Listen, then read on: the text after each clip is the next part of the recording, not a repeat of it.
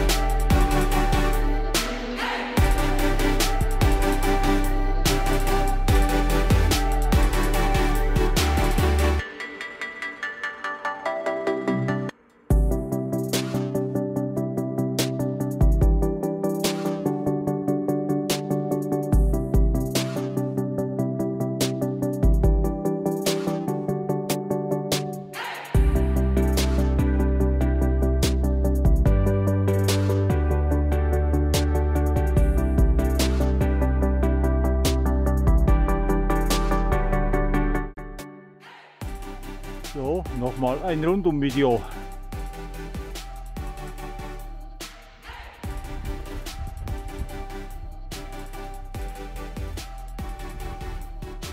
Jetzt bin ich doch noch in den Schnee reingekommen.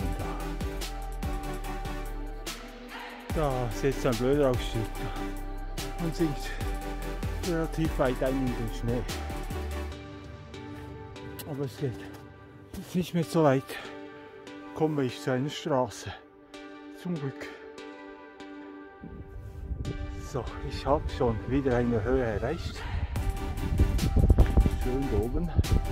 Da kommt übrigens der Europa-Fernwandweg rein von Spanien nach Zypern. doch ziemlich ein langer Weg. Da hier vorne noch ein Bunker, Zweiten Weltkrieg. Jetzt wandere ich diesen Hügelzug da. Ich habe auch noch vergessen zu sagen, dass auch der Schmerderkret durch Jura hier durchgeht. Der Jura-Höhenweg. Ganz eine schöne Route durch die Schweiz. Ganz einsame Bauernbetriebe. Und her.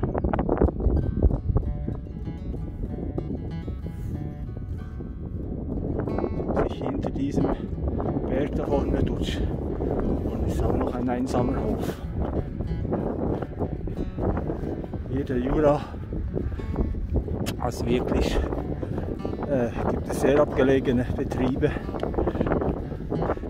Und heute kommt noch dazu, dass es sehr windig ist.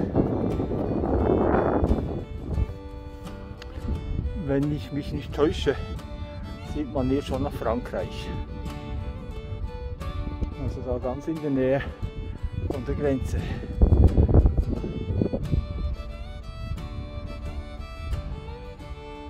Da hier vorne schon wieder ein Bunker. Ein Zeichen, dass wir da in der Nähe sind von der Grenze.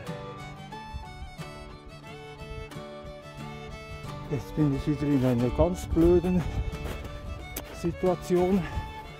Hat hier äh, doch ziemlich viel Schnee. Zum Glück ist hier eine Spur, wo ich drin gehen kann. Sonst wäre es wirklich mühsam da. Hier habe ich Doppelrohre. Das ist ein Überbleibsel vom Zweiten Weltkrieg. Eine sogenannte Panzersperre.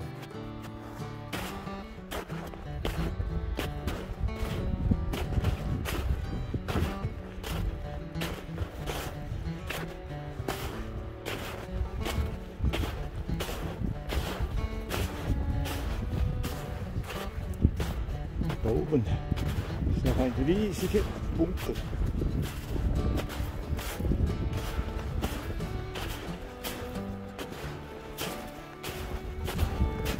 Sehr mühsam zum Gehen.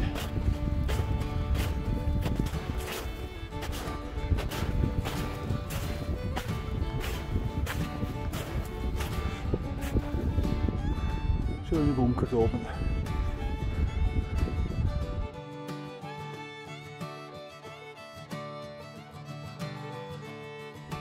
Schöne Flur. Ich kann jetzt hier runter, geht meinen Weg weiter.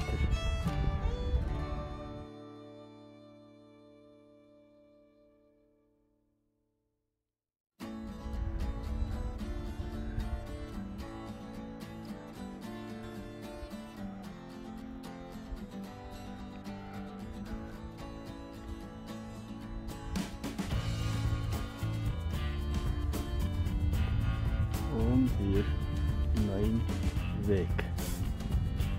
Ich glaube, ich spreche hier vorne meine Tour ab. Ich wollte eigentlich noch auf diesen Berg hoch, aber es hat doch relativ viel Schnee. Übrigens dort oben, äh, hier, da wäre der höchste Punkt, sieht dort das Dreieck. Es ist doch noch ziemlich weit weg und ich glaube, ich gehe hier vorne wieder unter. Es schneit auch ein bisschen und der Ausblick ist auch nicht so grandios heute. Ich glaube, ich verzichte auf den Aufstieg. Da oben bin ich wirklich im Schnee sehr mühsam vorwärts zu kommen und es ist noch ziemlich weit auf diesem Berg da drüben. Und das sieht wirklich jetzt aus. Da hier unten sieht man noch nach Frankreich. Von hierher bin ich jetzt gekommen. Es ist jetzt auch noch ziemlich windig und es könnte sein, dass oben der Wind noch stärker kommt. Ich nehme da die Abkürzung wieder ins Tal runter. Übrigens, dieser Bach, der von hier oben kommt, der fließt direkt in den neuen Burgesee.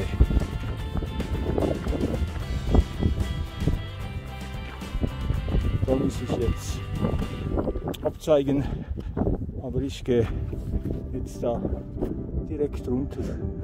Da oben noch eine große Flur.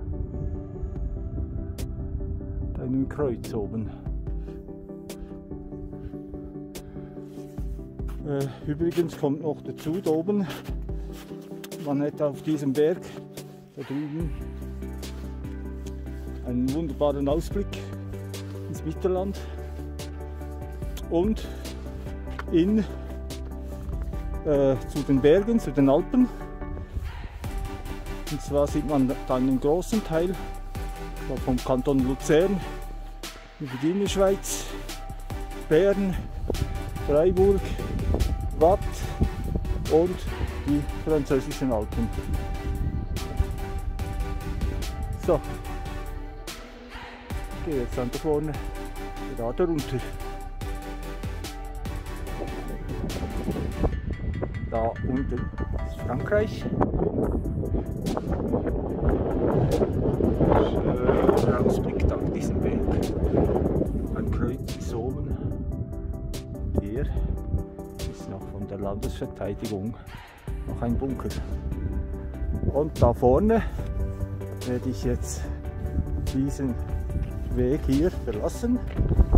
Auch den Fernwanderweg Nummer 5 und den Europa Fernwanderweg 4. Ich jetzt verlassen.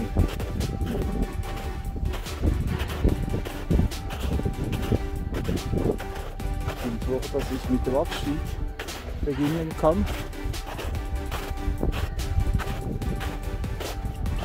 Sehr mühsam oben. Da ist noch eine Alp.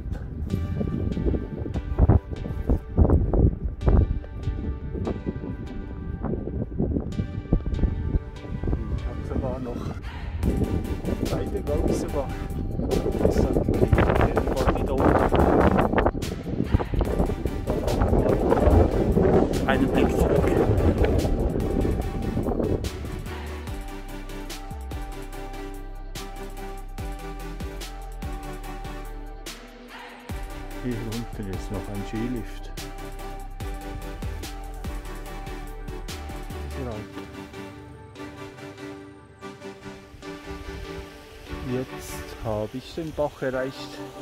Das ist ein Seitenbach. Und der fließt dann direkt in den Neuenburger See.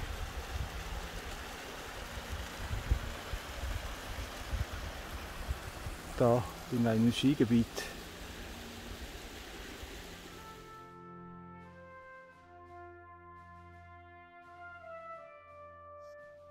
Es ist ganz merkwürdiges Wetter. Ganz gelb. Das ist alles Sahara-Staub. Übrigens sieht man es auch an meinem Ärmel an. Ich hoffe, man sieht es. Der voll mit Sandkörner ist. Das sind ganz kleine Sandkörner. Alles von der Sahara. Und da hier oben komme ich jetzt her.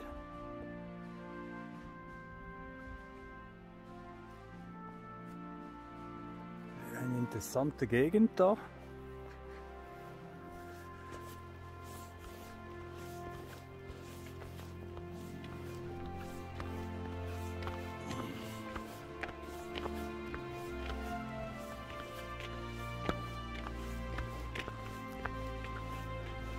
Und hier ist wirklich ja, schon viel Schnee fort.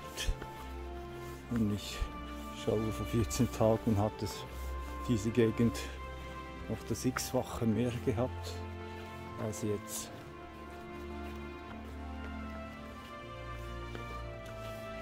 Da unten kommt schon wieder ein Alp zum Vorschein.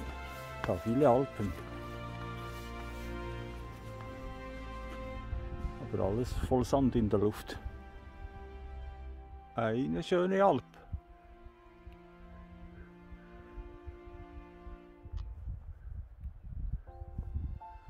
Ich komme da immer näher ins Tal runter.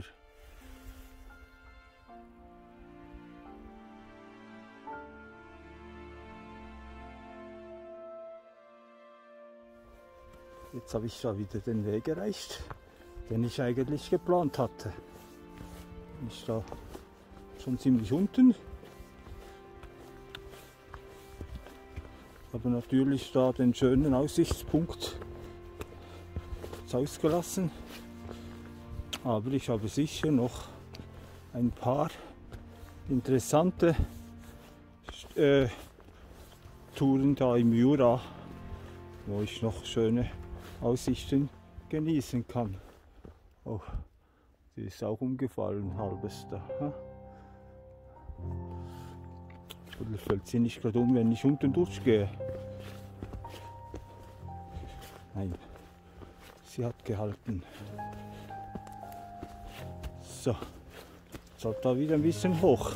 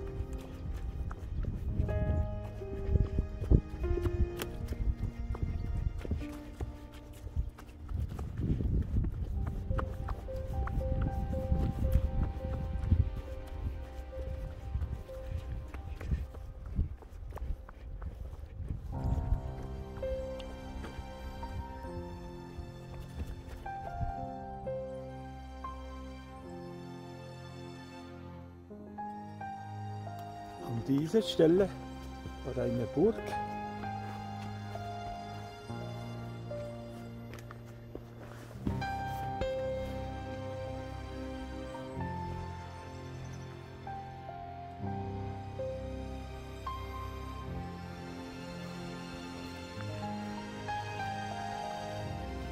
So eine große.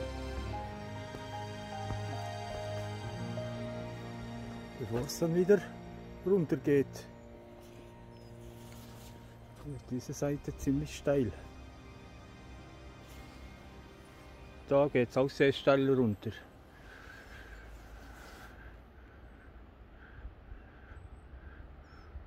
Und hier, da geht jetzt mein Weg runter.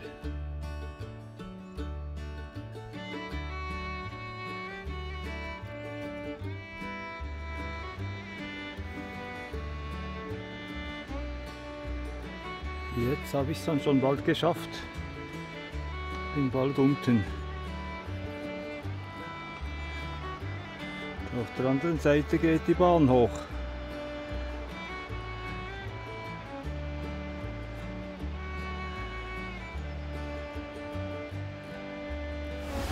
Jetzt ist es ein stattlicher Bach geworden. Schön da.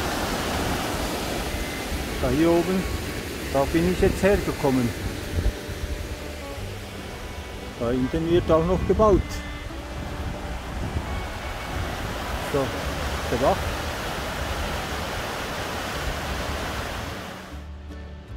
Ich habe das Dorf erreicht.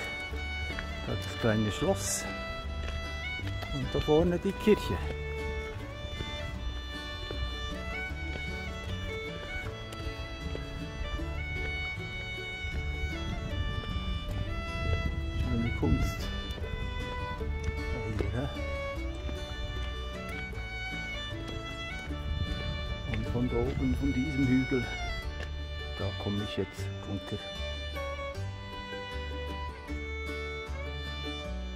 Dort oben ist noch eine Höhle und die Bahn sieht man jetzt noch, wo es reingeht in den Tunnel. Da über diesen Bergbrücken bin ich jetzt runtergekommen. Das kleine Schloss.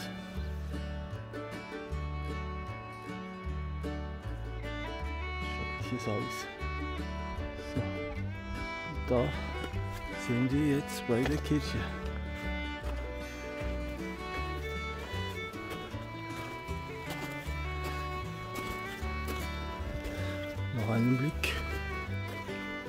Dorf.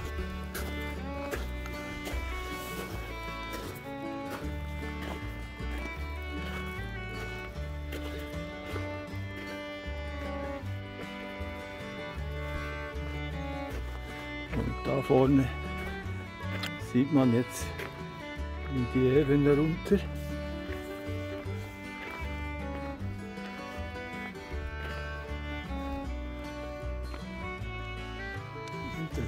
Turm.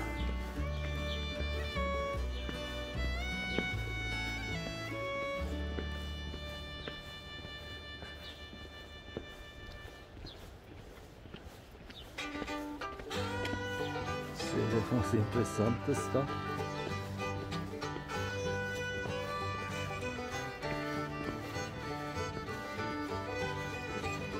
Interessantes Dorf.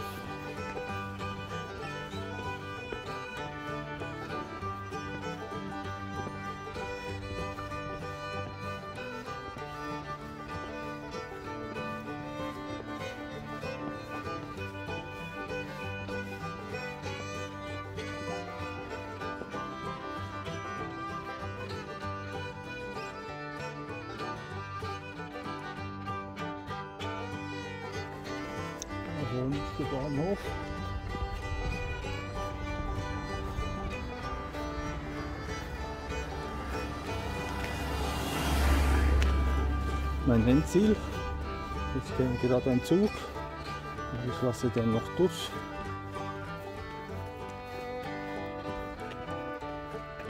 Ein Blick in die Bergwelt.